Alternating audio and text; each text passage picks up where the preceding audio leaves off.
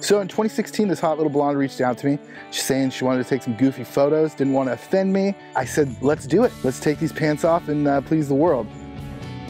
When everything first took off, it was kind of a whirlwind. We never expected our photo shoot to go viral. So we were spending a lot of time together in those beginning months, but I really liked him. I grew attached to him and I knew life was just better with him. So I can say that I'm the photographer that swooned their model.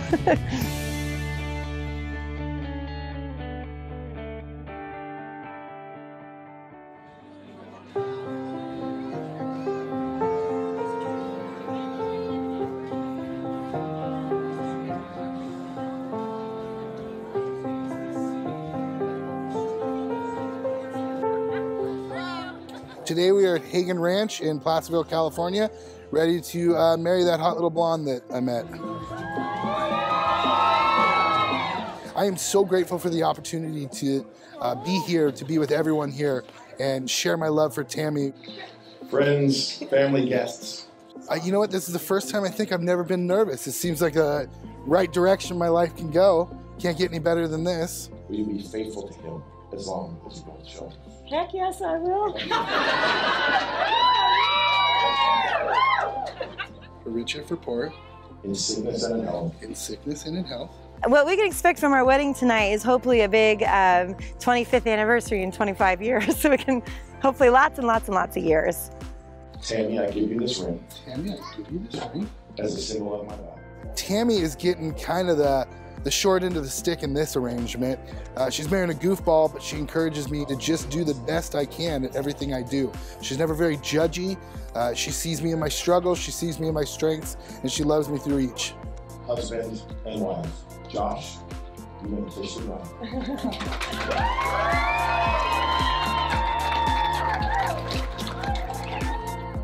I'm very, very happy to be the new Mrs. Varozza. Mr. and Mrs. Varozza. One, two, three.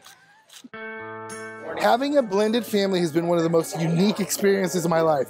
We have two 13 year olds and we blended them together and they fought like cats and dogs. Now they get along and it's kind of interesting, kind of scary. Josh and my mom, they're very fun together. Everyone always says how great they are together, and I couldn't help but agree. I live with them, so I see everything that goes on behind the scenes, and he loves her and treats her so well. And I honestly, I couldn't have picked anyone better for her. Hey, hey, is this a country wedding or is this a flatlander wedding? We want pit stains. One thing I love about living with him is there's never, ever a dull moment, ever. There's always some sort of crazy mayhem happening. There's never, it's never ever boring, and I love that about him. Oh, She's just taking her time. I'm so excited. Tami's just a really great person and like she makes really good turkey sandwiches and he just tries his hardest for all of us. My life is great. So, ladies and gentlemen, if I may direct your attention up the hill toward Well, I bought a suit two sizes too big, planning to eat well.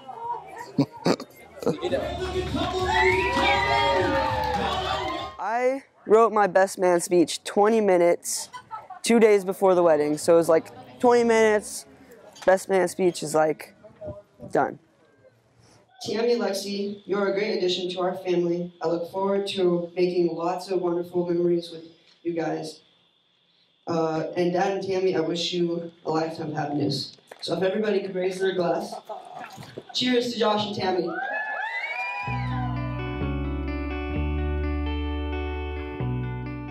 That's my Josh.